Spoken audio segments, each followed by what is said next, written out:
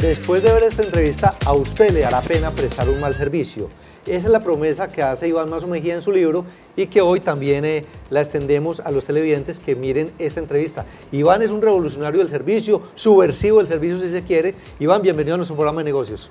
Muchas gracias Juan Carlos, encantado pues de compartir contigo nuevamente y con todos los televidentes, encantado de compartir este espacio. Iván, uno de los planteamientos que usted hace en su libro, El precioso don del servicio, que ya tiene cuatro años en el mercado, pero sigue dando mucho de qué hablar y se sigue extendiendo, es que las empresas han prostituido, han distorsionado el concepto de servicio, no lo han entendido como debería ser. Claro, porque es que el tema de servicio para las empresas es meramente utilitarista. Hay un ejercicio que yo hago en las empresas cuando trabajo con ellas y les digo, dígame las razones que tiene una empresa para prestar buen servicio. Sí. Inclusive en este momento los reto a ustedes a que piensen, ¿qué razones tiene una empresa para prestar buen servicio? Piensen en tres. ¿Las pensaron? Entonces me van a decir sí. que el cliente regrese. Sí. Fidelización de clientes. Vender más. Todo es pensado en signo pesos. Todo es pensado en función de utilitarismo. Sí. Y el servicio no se deja manosear. Por eso digo o utilizo una expresión tan fuerte, las empresas han prostituido el concepto de servicio, porque no lo ven sino en función de plata.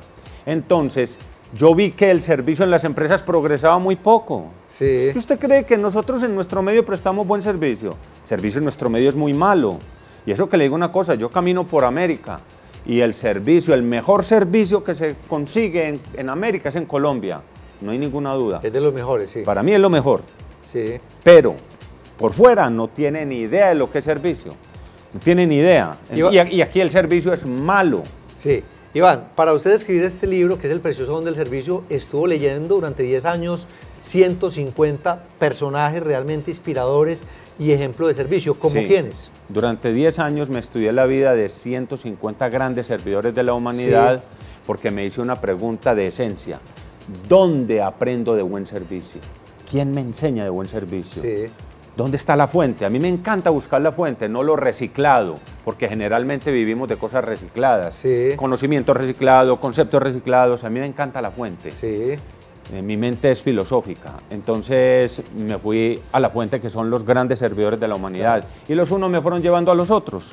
Por ejemplo, eh, definitivamente igual a Gandhi, pues es que Gandhi es considerado la conciencia de la humanidad, la voz de la conciencia de la humanidad. Sí. Y de ahí vienen los alumnos de Gandhi como mm, Martin Luther King, como Nelson Mandela. Nelson Mandela para mí es la, es la encarnación más grande de lo que es un servidor. Em, Teresa de Calcuta, ni se diga, una mujer que fue capaz de decir, una vez le preguntaron, madre, ¿qué es servicio? Eh, ¿El servicio es amor o el amor es servicio? Y le dijo, no te, y dijo, no tengo idea, porque si presto servicio, es imposible que no entregue mi amor. Y si doy mi amor, es imposible que no sea una gran servidora. Qué maravilla. Todo eso, ella era así. Iván, cuando cambiamos una creencia es cuando logramos hacer cambios históricos en la humanidad. Y lo estamos viendo al fondo. Sí, es que mi libro empieza por ahí. Porque cuando cambiamos una creencia, producimos cambios históricos en la sociedad. Y mi libro lo que pretende es hacer un cambio histórico en la sociedad. Y yo sé que en empresas, en Colombia y en, el exterior, se ha cambiado la creencia del servicio. Y yo puedo mostrar empresas que basados en este libro han hecho transformaciones impresionantes en su concepción de ver el servicio y personas que han hecho unas transformaciones impresionantes. Mire Juan Carlos, yo lo único que nunca pensé es que ese libro iba a salvar vidas. Sí. Y me han contado historias de personas que están a punto de matar a alguien porque me lo han contado ellos mismos. Me han buscado y me lo han contado. Vea, íbamos a matar a tal. Mm. Y su libro o su conferencia me llegó tres días antes. Cosas de esas que yo me quedo impresionado.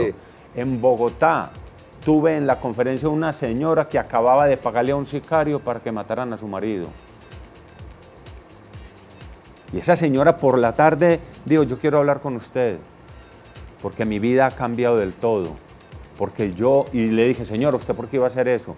Porque mi marido es una porquería. Hasta que vi su conferencia y me di cuenta que la porquería era yo.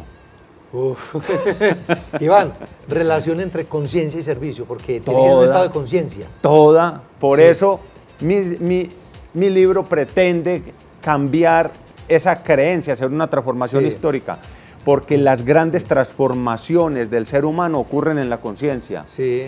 Los grandes servidores de la humanidad, esos 150 grandes personajes que me estudié en 10 años, me enseñaron que el servicio auténtico solo se presta desde estados de conciencia, no más.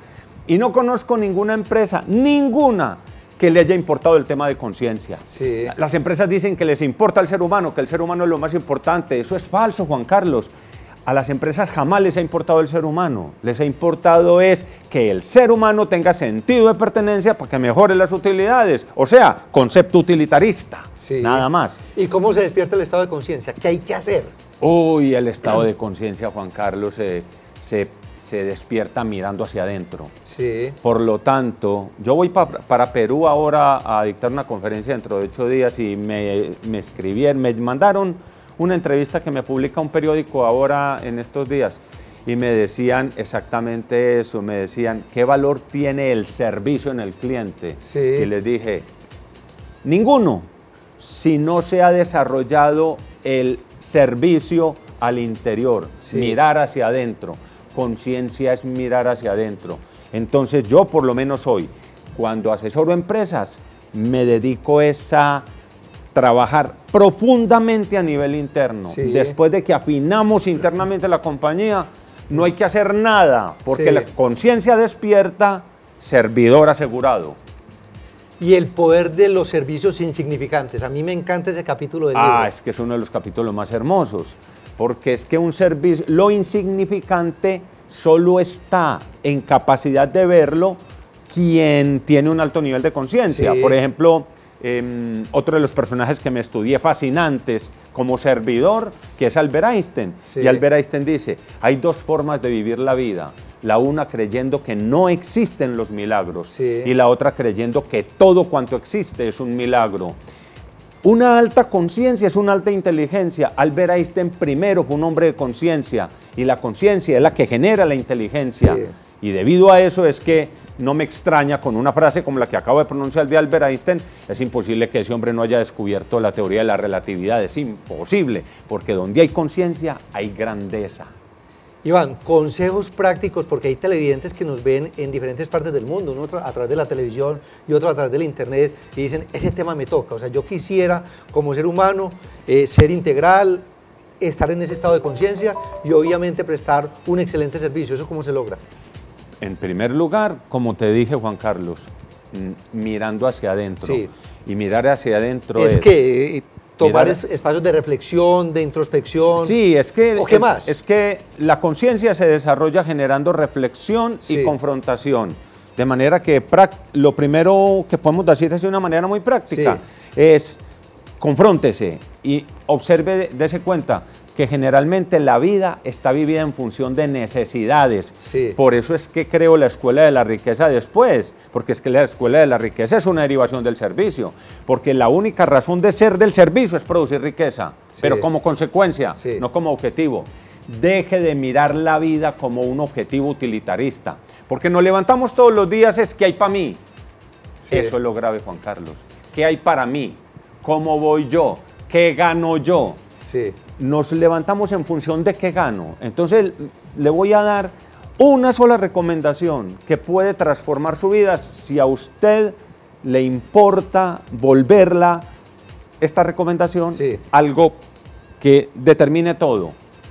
A cada instante, frente a todo, pregúntese, ¿cómo contribuye a la transformación del mundo lo que estoy haciendo en este instante? Ese es el poder de los servicios insignificantes. ¿Cómo contribuye a lo que va a pasar en este día mi función como ciudadano de este mundo? Sí. Ser personas que se levantan a contribuir, no a demandar. El objetivo jamás debe ser el dinero. El dinero es una un resultado lógico y cuando uno está haciendo las cosas bien hechas, pues va a suplir sus necesidades y lo demás. Juan Carlos, en estos espacios de televisión, estos espacios empresariales, vienen personas como yo y ustedes mismos hablan mucho de tener objetivos, tener metas, que el que no tiene objetivo y no tiene meta no sabe para dónde va. A mí eso me parece basura, basura, porque me parece mezquino, las metas me parecen mezquinas. ¿Por qué? Juan Carlos, las metas son mezquinas porque nos hacen perder la esencia, porque casi todas las metas están fundamentadas en lograr, obtener y... Me salgo de mi estado de conciencia y me enfoco en la meta. Me salgo en mi estado de conciencia y me enfoco en la meta. Yo nunca vi a la madre... Que la meta es utilitarista. Ninguno de los grandes servidores de la humanidad habla de metas en ninguna parte. Ninguno. Todos hablan de propósitos de vida. Sí. Propósitos, no metas. Y nosotros tenemos una formación educativa Pero siempre nos han dicho, lo que no se mide no sirve, en fin. Usted sabe, Juan Carlos, que eso para mí es basura. Sí, claro. lo conozco muy bien. porque es que solo se puede medir lo que pertenece a la dimensión más baja de la humanidad. Solo se puede medir cuantitativamente. Las medidas más altas son de carácter espiritual, son de niveles de conciencia y son medidas precisas. Lo que pasa es que como en nuestro, en nuestro mundo del, del, conocimiento e intelecto, lo que no quepa en una tabla de Excel no existe, porque además los sistemas de calidad del mundo hablan de que lo que no se puede medir no se puede mejorar, eso es absolutamente aberrante y estúpido. Bueno, yo creo que ya a los televidentes les quedó claro por qué al, invitado nuestro le decimos hoy que es un subversivo del servicio. Iván, de verdad que muchísimas gracias. Y sé que muchos televidentes seguramente quedaron motivados para conseguir el libro. ¿Dónde se consigue? El libro se consigue a través de internet, se consigue a través de las librerías. O sea, no es sino poner en un buscador el precio del servicio y ahí lo van a encontrar. Sí, sí, sí, sí, prácticamente sí. Digo prácticamente sí porque ya estamos, en este momento estoy terminando las últimas gestiones para que la gente lo pueda comprar. En línea y por internet. Sí, correcto. Iván, muchísimas gracias y sé que eh, obviamente este conocimiento y estos conceptos que nos comparte son altamente transformadores para prestar un mejor servicio. Pero, pero desde la conciencia. Por lo menos me gano. Por lo menos tengan la seguridad televidentes que soy consciente que me gano muchos enemigos, pero bienvenidos, porque solo los detractores lo pasan a uno la historia. Los amigos nunca han hecho mayor cosa por uno. Muy bien, Iván, muchas gracias. Este es Negocios, ya regresamos.